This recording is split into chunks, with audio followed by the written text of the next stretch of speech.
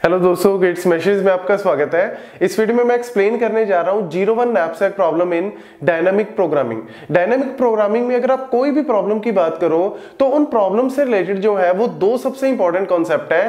पहला वो प्रॉब्लम है क्या? उस प्रॉब्लम से रिलेटेड कोई ना कोई न्यूमेरिकल आपको कैसे सॉल्व करना है? दूसरा, उस प्रॉब्लम का रेकरेंस रिलेशन तो इस वीडियो में मैं पहले स्टार्ट करने जा रहा हूँ। ज़ीरो वन नैपसैक प्रॉब्लम होती क्या है? उसके ऊपर हम न्यूमेरिकल डिस्कस करेंगे और फिर नेक्स्ट वीडियो में हम हम इसके रिलेटेड जो रेफरेंस रिलेशन है, वो कैसे लिखते हैं, वो हम डिस्कस करेंगे। और ये दोनों ही पॉइंट आपके कॉम्पिटेटिव एग्ज़ाम्स के पॉइंट ऑफ़ व्यू से बात करें, या फिर आपके कॉलेज या यूनिवर्सिटी लेवल के एग्ज़ाम्स के पॉइंट ऑफ़ व्यू से बात करें तो बहुत ज़्यादा इंपॉर्टेंट है। तो गाइज़ फटाफट से वीडियो को लाइक कर दें चैनल को सब्सक्राइब करें अगर तक आपने नहीं किया and please press the bell button ताकि आपको सारी लेटेस्ट नोटिफिकेशन मिलते रहे। तो स्टार्ट करते हैं। Zero one knapsack. अब सबसे पहले मैं आपको बता दूँ, ज़ीरो वन नैपसेक का मतलब क्या है? ज़ीरो का मतलब है ऑब्जेक्ट इज़ नॉट प्रेजेंट मतलब एबसेंट और वन का मतलब है ऑब्जेक्ट प्रेजेंट और यहाँ पे नैपसेक का मतलब क्या है? नैपसेक का मतलब है बैग एक कैरी बैग जो है वो आप ले सकते हो, और उस कैरी बैग में हमने डालना क्या है? ऑब्जेक्ट्स को डालना है। अगर कैरी बैग में या उस नैपसेक में ऑब्जेक्ट प्रेजेंट है, उसको बोलते हैं हम वन अगर वो एबसेंट है, उसको बोल देंगे हम number zero just for representation हमने यहाँ पे दी है ज़ीरो या वन। लेकिन ज़ीरो वन नैपसेक की अगर हम बात करें, ये तो डायनामिक प्रोग्रामिंग का पार्ट है। लेकिन जो नैपसेक प्रॉब्लम है, ये हमने ग्रीडी में भी डिस्कस की थी और ग्रीडी में जब हमने इस प्रॉब्लम को डिस्कस किया था तो उसमें हम क्या करते हैं, वो ज़ीरो वन नैपसेक नहीं है, वो है पार्शियल पार्शियल का मतलब क्या है कि अगर मेरे पास लेट्स सपोज़ बैग है और आप मार्केट में लेट्स सपोज़ तरबूज खरीदने गए हो वाटरमेलन खरीदने गए हो, आपने क्या किया? एक वाटरमेलन बैग में डाल दिया। अब अगर वाटरमेलन मतलब आपका जो बैग है वो फुल हो गया और बैग में लेट्स सपोज़ आधी कैपेसिटी बची है मतलब पूरा वाटरमेलन नहीं आ रहा, आप हाफ़ डाल सकते हो तो आपने क्या करना है? हाफ़ जो है वो वाटरमेलन इसमें डाल देना है। ये तो था पार्शल वाला, जो हम ग्रीडी में डिस्कस करते हैं और जिसकी हमने अप्रोच भी डिस्कस की थी कि कैसे हम उसको सॉल्व करते हैं और उसके ऊपर वीडियो जो है वो ऑलरेडी मैंने एक्सप्लेन की हुई है और उसका लिंक डिस्क्रिप्शन बॉक्स में आपको मिल जाएगा। लेकिन ज़ीरो वन नैपसेक में हम क्या बोल रहे हैं कि या तो ऑब्जेक्ट प्रेजेंट होगा पूरा का पूरा, या फिर ऑब्जेक्ट एबसेंट होगा। ये जो हाफ़ या पार्टीशन वाला काम यहाँ पे नहीं है मतलब या तो ऑब्जेक्ट आप पूरा डालोगे, या उस ऑब्जेक्ट को आप डालोगे ही नहीं। तो ये कॉन्सेप्ट है ज़ीरो वन नैपसेक का। तो यहाँ पे सबसे पहले हम बात करते हैं, यहाँ पे तीन ऑब्जेक्ट है object one two and three और वेट और प्रॉफिट हमारे पास गिवन है two four eight twenty twenty five and sixty और नैपसेक की कैपेसिटी हमें दी हुई है 12 अब इसको आप कोई भी यूनिट मान सकते हो रुपीज़ मान लो डॉलर मान लो, या फिर ऑब्जेक्ट का वेट आप किलोग्राम मान लो ग्राम मान लो, कुछ भी आप ले सकते हो। हम सिर्फ़ यहाँ पे नंबर्स को जो है वो फोकस कर रहे हैं। तो लेट्स सपोज़ हमारे पास क्या है? जो बैग है, उस बैग की कैपेसिटी कितनी है? 12 अब मतलब उसमें मैं 12 से ज़्यादा वेट जो है वो रख नहीं सकता और 12 से वेट मैं रखूँगा नहीं क्योंकि मेरे को मैक्सिमम प्रॉफिट यहाँ पे गेन करना है। तो अगर हम इस प्रॉब्लम को ग्रीडी मेथड से सॉल्व करते हैं ग्रीडी में जैसा कि मैंने आपको पहले बताया लिंक डिस्क्रिप्शन बॉक्स में दिया हुआ है। अगर आपने वो वीडियो नहीं चेक की तो एक बार ज़रूर चेक कर ले। अदरवाइज़ उसका मैं हल्का सा ओवरव्यू यहाँ पे दे देता हूँ। उसमें हम करते क्या है?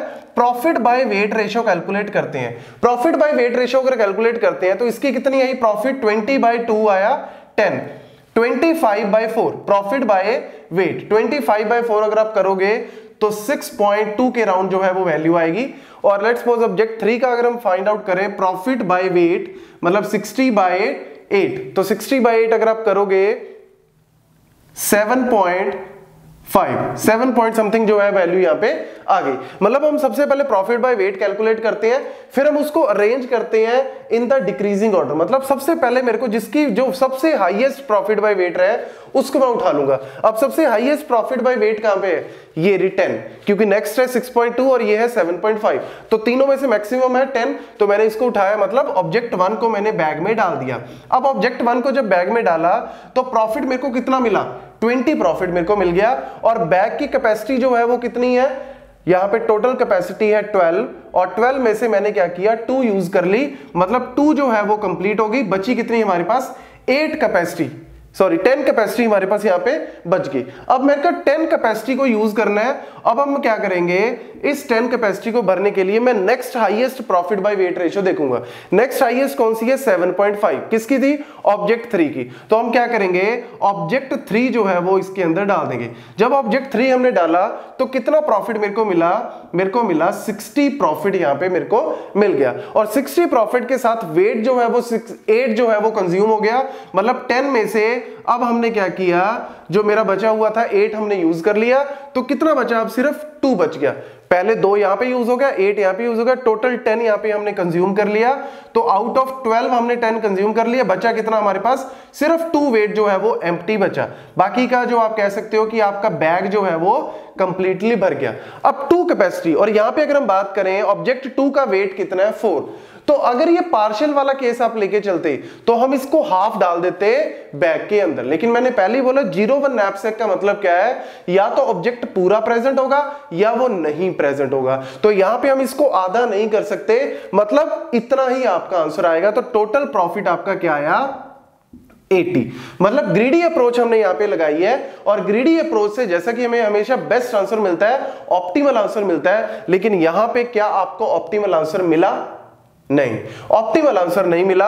ऑप्टिमल आंसर कैसे फाइंड आउट करोगे? या ऑप्टिमल ऑप्टिमल आंसर क्या आएगा? ऑप्टिमल आंसर आएगा 60 प्लस 25 दैट इज़ 85 लेकिन इस अप्रोच से ऑप्टिमल आंसर नहीं आया। तो ये कौन सी अप्रोच हमें यहाँ पे लगानी पड़ेगी? एक तरह से हम ब्रूट फोर्स मेथड लगाना पड़ेगा। और ब्रूट फोर्स मेथड क्या कह रहा है? कि अगर लेट्स सपोज़ आपके पास नंबर ऑफ़ ऑब्जेक्ट्स हैं, इस तरीके से। एन नंबर ऑफ़ ऑब्जेक्ट्स हैं तो हर एक ऑब्जेक्ट को या तो आप बैग में डालो या बैग में मत डालो। मतलब कितनी चॉइस है? हर एक ऑब्जेक्ट के लिए मेरे पास कितनी चॉइसेस हैं? दो चॉइसेस हैं। कौन कौन सी? या तो मैं उसको बैग में डालूँगा या उसको बैग में नहीं डालूँगा। ना तो मैं अकेला प्रॉफिट देख रहा, ना मैं अकेला वेट देख रहा। अगर मैं प्रॉफिट बाय वेट दोनों को देख रहा हूँ, तब भी मेरा आंसर नहीं आ रहा। ग्रीडी मेथड यहाँ पे फेल हो जा रहा है। तो मैं कौन सी अप्रोच लगाऊँ? कोई भी अप्रोच नहीं लगा सकते। यहाँ पे बेसिक आपको ब्रूट फोर्स मेथड मतलब आपको सारे परमुटेशन लगाने पड़ेंगे, सारी पॉसिबिलिटी लगानी पड़ेगी। तो यानी पॉसिबिलिटीज आप निकाल लो, कितनी पॉसिबिलिटी बनेगी? यहाँ पे या तो ऑब्जेक्ट को आप डालो या मत डालो, दो चॉइसेस हैं। ऐसी सेकंड ऑब्जेक्ट को डालो या मत डालो थर्ड को डालो या मत डालो मतलब कितनी बार आपके पास है? आपके पास यहाँ पे एन ऑब्जेक्ट्स के लिए टू अपॉर्चुनिटीज़ है टू चॉइसेस है। तो टोटल आपके पास कितनी possibilities I? Two raise to power N possibilities आई। और ऐसी अगर हम यहाँ पे बात करें, कितने ऑब्जेक्ट है? तीन। तो यानी two raise to power three क्योंकि यहाँ पे एन हमने क्या लिया? नंबर ऑफ़ ऑब्जेक्ट्स तो two raise to power three मतलब आठ पॉसिबिलिटी आपके पास बनती है। तो इन आठ पॉसिबिलिटी में से एक आपको क्या देगी? ऑप्टिमल आंसर देगी। लेकिन उस एक को कैसे फाइंड आउट करना है? उसके लिए आपको या तो ग्रीडी मेथड जो है लगाओगे तो वो फेल हो जा रहा है। तो आपको यहाँ पे नॉर्मल ब्रूट फोर्स मेथड लगाना पड़ेगा। लेटर ऑन हम इसको देखेंगे कि डायनामिक प्रोग्रामिंग से कैसे सॉल्व करते हैं? अब अगर आप देखो कि पॉसिबिलिटीज कौन कौन सी है? एट मतलब तीन zero zero zero zero zero one zero one zero zero one one one zero zero one zero one one one zero one one one ये आपके पास आठ पॉसिबिलिटी यहाँ पे बनी। अब इन आठ पॉसिबिलिटी की बात करें तो ये लेट्स सपोज़ ऑब्जेक्ट वन है ऑब्जेक्ट टू है ऑब्जेक्ट थ्री है। मतलब कोई भी ऑब्जेक्ट हम नहीं डालते। पूरे बैग में हमने कोई भी ऑब्जेक्ट नहीं डाला तो प्रॉफिट कितना मिलेगा? नो प्रॉफिट कुछ भी प्रॉफिट आपको नहीं मिला। इसमें क्या कह रहे हैं? हम ऑब्जेक्ट थ्री पे वन है। मतलब आपने सिर्फ़ ऑब्जेक्ट थ्री को डाला। अगर आप ऑब्जेक्ट थ्री को डालते हो तो ऑब्जेक्ट थ्री को डालने के बाद आपको प्रॉफिट कितना मिला? ट्वेंटी नेक्स्ट में आप ऑब्जेक्ट टू को डाल रहे हो सिर्फ़ तो कितना प्रॉफिट मिला? ट्वेंटी फाइव नेक्स्ट में आपने क्या किया? ऑब्जेक्ट टू और थ्री को डाला। अगर मैं टू और थ्री को डालता हूँ तो देखो प्रॉफिट कितना मिला? Eighty five next one zero zero मतलब आपने सिर्फ़ ऑब्जेक्ट वन को डाला तो ऑब्जेक्ट वन को यहाँ पे डाल रहे हो तो प्रॉफिट आपको मिला ट्वेंटी अच्छा यहाँ पे हमने ऑब्जेक्ट थ्री को डाला था तो ऑब्जेक्ट थ्री के लिए प्रॉफिट कितना था? सिक्सटी था। ऑब्जेक्ट थ्री डाला था ना यहाँ पे? अब ऑब्जेक्ट वन को डाला 20 अब आपने क्या किया? ऑब्जेक्ट वन और ऑब्जेक्ट थ्री को डाला। अब ऑब्जेक्ट वन और थ्री को डालते हैं तो प्रॉफिट कितना हुआ?